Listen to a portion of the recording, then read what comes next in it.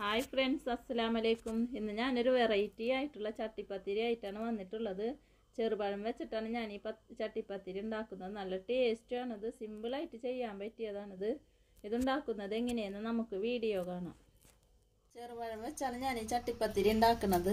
നല്ല ടേസ്റ്റാണിത് ഇതിപ്പോൾ ഞങ്ങളെ വീട്ടിലുണ്ടായ പഴമാണ്. നമ്മളെ സാധാ ചെറുപഴം. ഞാലിപ്പൂവൻ എന്തായാലും മതി. ഇതിപ്പോൾ ഞാലിപ്പൂവനാണ്. ഇത് ഞാൻ ഒരു പടലേനെടുത്ത ഒരു കിലോയുടെ അടുത്തൊക്കെ വരും ഇത് ഇതിന് നമുക്ക് തൊലിയൊക്കെ കളഞ്ഞ് നല്ലപോലെ ചെറുതായി കട്ട് ഇപ്പൊ ഞാൻ മുഴുവനായിട്ടും തൊലിയൊക്കെ കളഞ്ഞ് ഇതേപോലെ ചെറുതായി കട്ട് ചെയ്തെടുത്തിട്ടുണ്ട്. പാൻ അടുപ്പത്ത് വെച്ചിട്ടുണ്ട്. പാൻ ഇപ്പൊ നല്ലപോലെ ചൂടായി വന്നപ്പോ അതിൽക്ക് ഒരു സ്പൂണ് നെയ്യ് ഒഴിച്ചു കൊടുക്കുന്നുണ്ട്. നെയ്യൊന്ന് മെൽറ്റായി വരട്ടെ. നെയ്യൊക്കെ ഇപ്പൊ നല്ലപോലെ മെൽറ്റായി വന്നിട്ടുണ്ട്. അതിലേക്ക് ഞാനൊരു അഞ്ചാറ് കാഷ്യൂനട്ട് ഇതേപോലെ ചെറുതായി കട്ട് ചെയ്തതാണ്. നമുക്കൊന്ന് റോസ്റ്റ് ചെയ്തെടുക്കാം.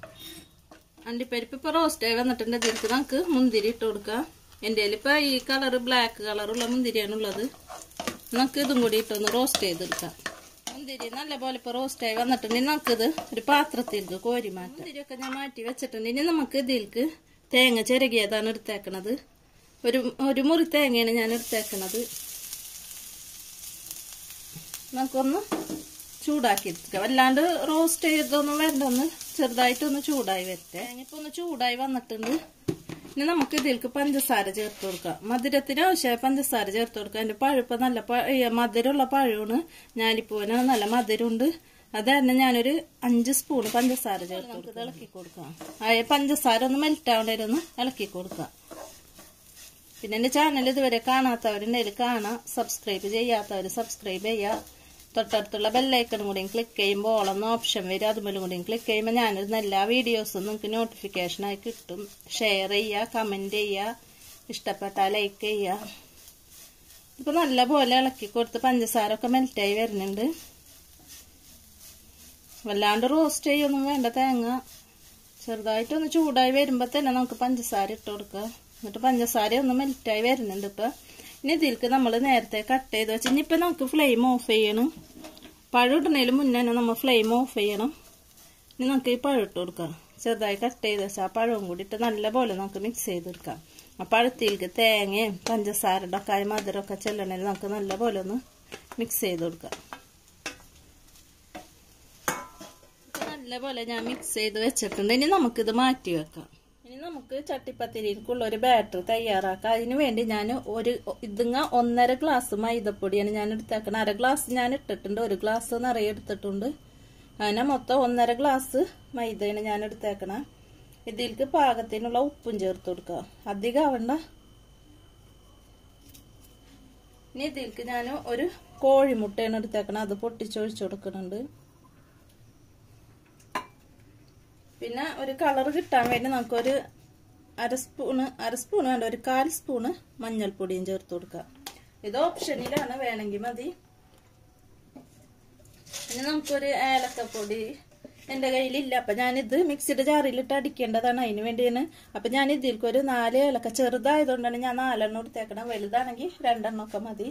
അത് ഇട്ടിട്ടുണ്ട്. ഇനി നമുക്ക് ഇതിൽക്ക് ഞാനിപ്പോൾ ഒന്നര ഗ്ലാസ് പൊടിയാണ് എടുത്തേക്കണം അതിലേക്കൊരു രണ്ട് രണ്ടര ഗ്ലാസ് വെള്ളം ഒഴിച്ചോളൂ. നമുക്ക് പാകത്തിനുള്ള ഒരു ദോശ ഉണ്ടാക്കൂല. അതിന്റെ പാകത്തിനുള്ളത് നമുക്ക് എടുക്കാൻ നല്ല നല്ലപോലെ നമുക്കൊന്ന് ഇളക്കി കൊടുക്കാം. മിക്സിയുടെ ജാറിലേക്ക് ഇട്ട് കൊടുത്തിട്ടുണ്ട്. ഇനി ഇതിലേക്ക് വേണമെങ്കിൽ പഞ്ചസാര ചേർക്കണമെങ്കിൽ ചേർത്ത് കൊടുക്കാം. ഞാനിപ്പോൾ നേരത്തെ അതിൽ പഞ്ചസാര ഒക്കെ ഇട്ടേക്കണം പിന്നെ അധികം മധുരം വേണ്ടാന്ന് വെച്ചിട്ട് ഞാൻ ഇതിലേക്ക് പഞ്ചസാര ചേർക്കണില്ല. മധുരം നല്ലപോലെ വേണ്ടിയൊരിക്കും ഒരു സ്പൂണോ രണ്ട് സ്പൂണോ പഞ്ചസാര ഈ മാവിൽക്കും നമുക്ക് ഇട്ട് കൊടുക്കാം. ഇനി നമുക്ക് ഇത് മൂടി വെച്ച് നല്ല പോലെ ഒന്ന് മിക്സിയുടെ ജാറിൽ നല്ലപോലെ ഞാൻ അടിച്ചതിന് ശേഷം ഒരു ബൗളിയിൽ കൊഴിച്ചു കൊടുത്തിട്ടുണ്ട്. ഇനി നമുക്കിത് അപ്പം ചുട്ടെടുക്കാം. ദോശ ചുട്ടെടുക്കാൻ വേണ്ടി ഞാനൊരു പാൻ അടുപ്പത്ത് വെച്ചിട്ടുണ്ട്. വെച്ചിട്ടുണ്ടായി പാൻ ഇപ്പം നല്ലപോലെ ചൂടായി വന്നിട്ടുണ്ട്. ഇനി നമുക്ക് ഇതിലേക്ക് ദോശ മാവ് ഒഴിച്ചു കൊടുക്കുക നേരത്തെ നമ്മൾ അടിച്ചു വെച്ചാൽ മാവ് ഇതിലേക്ക് ഒഴിച്ചു കൊടുക്കുക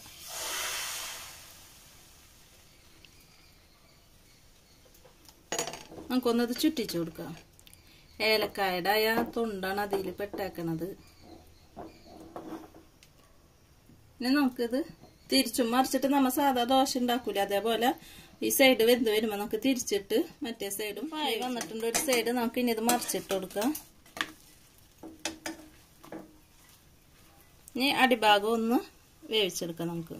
ഇതേപോലെ ബാക്കിയുള്ള ദോശ മുഴുവനായിട്ട് ഇപ്പൊ ഞാൻ ചുട്ടെടുത്തിട്ടുണ്ട് ഇനി നമുക്കിത് മാറ്റി വെക്കാം. എന്നിട്ട് ഇത് ചട്ടിപ്പത്തിരിക്കുള്ളത് സെറ്റ് ചെയ്യാം. മുഴുവനായിട്ട് ഇനി നമുക്ക് അതിലേക്ക് ഒരു ബാറ്ററും കൂടി റെഡിയാക്കി എടുക്കണം. അതിന് വേണ്ടി ഞാനൊരു മിക്സിയുടെ ജാറിലേക്ക് നാല് കോഴിമുട്ടയാണ് എടുത്തേക്കണത്. ഇത് പൊട്ടിച്ചൊരു ബൗളിൽ കുഴിച്ചിട്ടുണ്ടായി അത് മുഴുവനായിട്ട് മിക്സിയുടെ ജാറിലേക്ക് ഇട്ട് കൊടുക്കുക. ഇനി ഇതിലേക്ക് അര ഗ്ലാസ് വെള്ളമാണ് ഞാൻ ഒഴിച്ചു കൊടുക്കുന്നത് സാധാ നോർമൽ വാട്ടർ ഇനി ഇതിലേക്ക് കുറച്ച് ഒരു നുള്ളു ഉപ്പ് ചേർത്ത് കൊടുക്കുക. ഒരു രണ്ട് ഏലക്കായ ഇട്ട് കൊടുക്കുക. നല്ല പോലെ നമുക്ക് ഇതൊന്ന് അടിച്ചെടുക്കാം.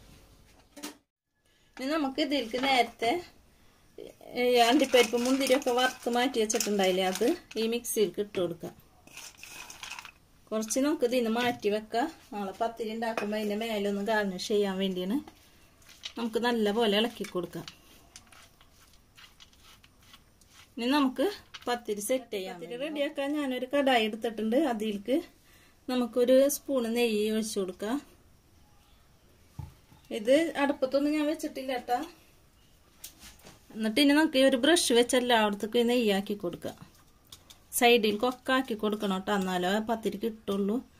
സൈഡിൽ മുഴുവനായിട്ട് നെയ്യ് ഒരു സ്പൂൺ നെയ്യ് മുഴുവനായിട്ടും പെരട്ടി കൊടുത്തിട്ടുണ്ട്. ഈ സൈഡ് ഭാഗമൊക്കെ പെരട്ടി കൊടുക്കണം കേട്ടോ ഇനി ഇതിലേക്ക് നമുക്ക് നേരത്തെ ഒരു ബാറ്റർ റെഡിയാക്കി വെച്ചിട്ടുണ്ടായില്ലേ? മുട്ടയും വെള്ളമൊക്കെ കുഴിച്ചും കയറ്റും അതിൽ നിന്ന് കുറച്ച് നമുക്ക് ഇതിൽ കുഴിച്ചു കൊടുക്കാം.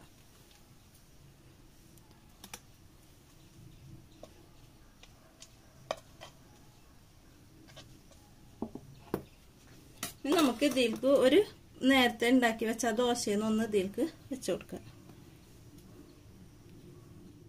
വെച്ചു കൊടുത്തിട്ടുണ്ട്. ഇനി നമുക്ക് ഇതിൽക്ക് നമ്മളായ നേരത്തെ ഉണ്ടാക്കി വെച്ച പഴത്തിന്റെ മിക്സ് ഇട്ട് കൊടുക്കാം. ഇത് നടുക്കൽ തന്നെ വെക്കണം കേട്ടോ വല്ലാണ്ട് അറ്റത്തേക്കൊന്നും വരരുത്. അപ്പൊ നമുക്കിത് സെറ്റ് ചെയ്യാൻ ബുദ്ധിമുട്ടാവും. നമ്മ കട്ട് ചെയ്യാനൊക്കെ ബുദ്ധിമുട്ടാവും ഇത് നടുക്കലെന്ന് വെച്ചാൽ മൊത്തം മൊത്തമായിട്ട് നടുക്കൽ ഇങ്ങനെ ഒന്ന് വെക്കരുത്. ഒന്ന് പരത്തി പരത്തി കൊടുക്കുക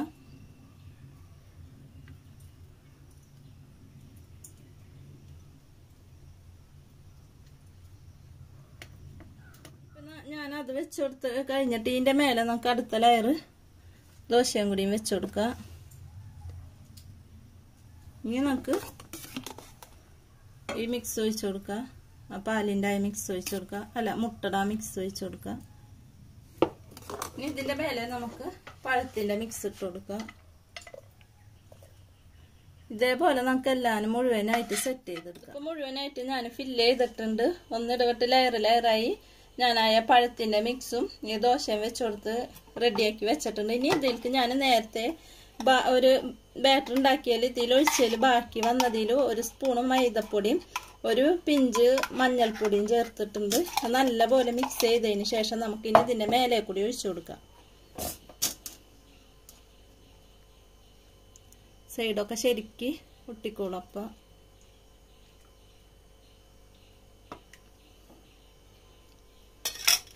നമുക്ക് ഇതിന്റെ മേലെ മേലെ നമുക്കിനി കുറച്ച് ബ്ലാക്ക് വെള്ളമാണ് ഞാൻ എടുത്ത് വെക്കണത്.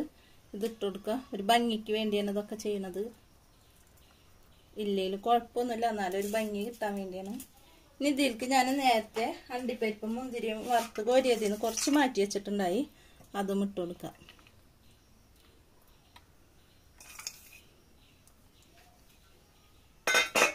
ഇനി അതേപോലെ തന്നെ കുറച്ച് വൈറ്റ് വെളുത്ത കളറിലുള്ള എള്ളെടുത്തിട്ടുണ്ട് ഞാൻ ഇത് ഇട്ട്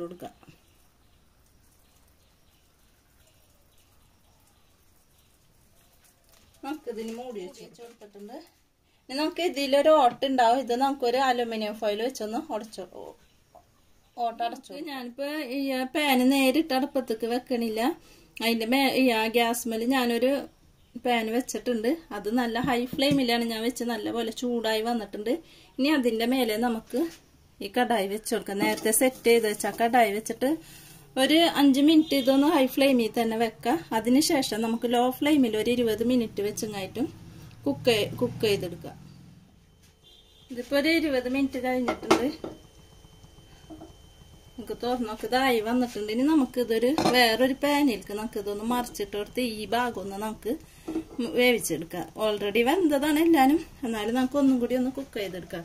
അതിന് വേണ്ടി ഞാനൊരു വേറൊരു പാനിലേക്ക് ഫ്രൈ പാനിൽ ഇച്ചിരി നെയ്യ് തടവി കൊടുത്തിട്ടുണ്ട്.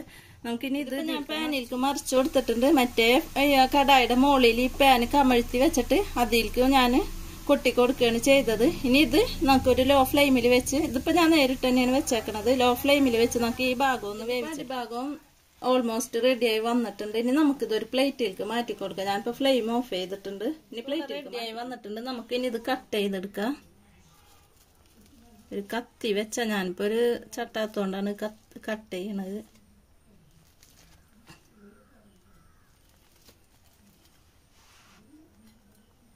നല്ല ടേസ്റ്റി ആയിട്ടുള്ള സിമ്പിൾ ആയിട്ട് ചെയ്യാൻ പറ്റിയ ചട്ടിപ്പത്തിരി ഇപ്പോൾ ഇവിടെ റെഡിയായി വന്നിട്ടുണ്ട്. ചെറുപഴം വെച്ചിട്ടാണ് ഞാൻ ഈ ചട്ടിപ്പത്തിരി ഉണ്ടാക്കിയേക്കണത്. കുട്ടികൾക്കൊക്കെ ഭയങ്കരമായിട്ട് ഇഷ്ടപ്പെടുന്നത് പഴമൊക്കെ കഴിക്കാത്ത കുട്ടികൾക്ക് ഇതേപോലെ ആക്കി കൊടുത്താൽ മതി. നല്ല ചൂടുണ്ട് കൈയൊക്കെ പൊള്ളുന്നുണ്ട് സിമ്പിളായിട്ട് ചെയ്യാൻ പറ്റിയ ചട്ടിപ്പത്തിരി ഇവിടെ റെഡിയായി വന്നിട്ടുണ്ട്. എല്ലാവരും ഇതേപോലെ ഒന്ന് ട്രൈ ചെയ്ത് നോക്കുക. നമുക്കിനി പുതിയ വീഡിയോയിൽ കാണുന്നത് വരെ ഓക്കെ ബായ്